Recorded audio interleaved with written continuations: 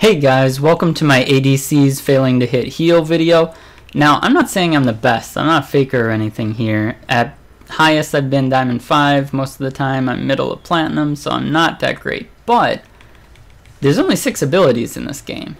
Like, you know, I don't know how you can forget to use one of them. And it'd be one thing if this was bronze, but like I said, these are ranked platinum games. And it happens all the time. Like, holy moly. How do these guys play MMOs where you have like 30 abilities?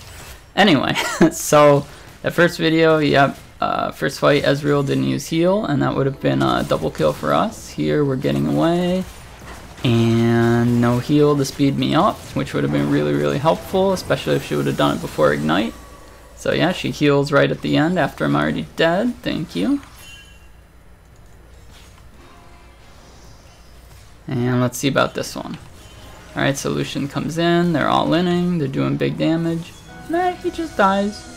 He's just not gonna hit the heal button. That's not a thing that's gonna happen. So here, he misses hook, I land the stun, we should get a lot of damage, a trap, I should get resets by autos after she heals. Nah, no heal, even though Pyke was really low. See what we have here. Alright, we've got random ADC duel that breaks out. No, no, no heal.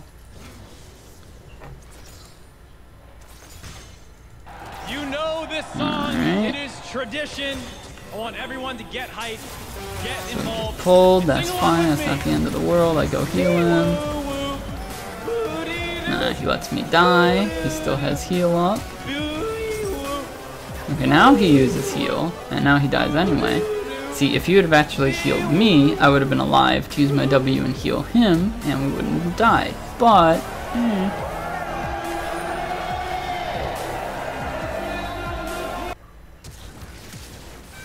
So we get another kill there, got first blood, got that kill. Here she steps forward just a little too much. No, she could have easily healed and walked away. It's definitely up.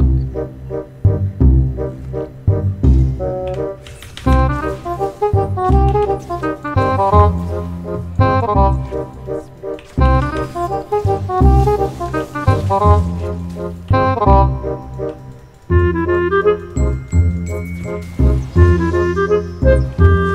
yeah, I remember this one. okay, so they take both ticks of the silence, they get extremely low. So I go chase the Sona because I think that's the right call. She's dueling that guy. So anyway, she doesn't have the movement speed up yet, so I know I can get her. Our mid lane's collapsing. She had good awareness. I slow her. And boom, there's first blood. Uh, Kayn's in the wall, I back away. Ah! My Ashe died. How did the Ashe die? So I'm asking her, like, how did you die? You had so much more health than Baron. And look, her heal's up. She didn't even heal. Like, what? I went to all that work to win the 2v2 and, like, chase and get the kill, and she just dies without pressing heal. By the way, this video, these aren't autofill people, I checked. Like, these are ranked games at Platinum with actual ADCs. Like, how does this happen? So, some of this footage was within the last few weeks, some of it was a bit before they messed up the meta and had Bruiser's bot lane all the time. But still, my god, man! Just hit the heal button, hit it early. People are so close-fisted with it. And you don't want to heal after someone's already ignited. You want to heal early. You want to use it for movement speed. What the hell, AD carries? What the hell? Alright, anyways guys, if you like that, don't forget to sub. Peace out.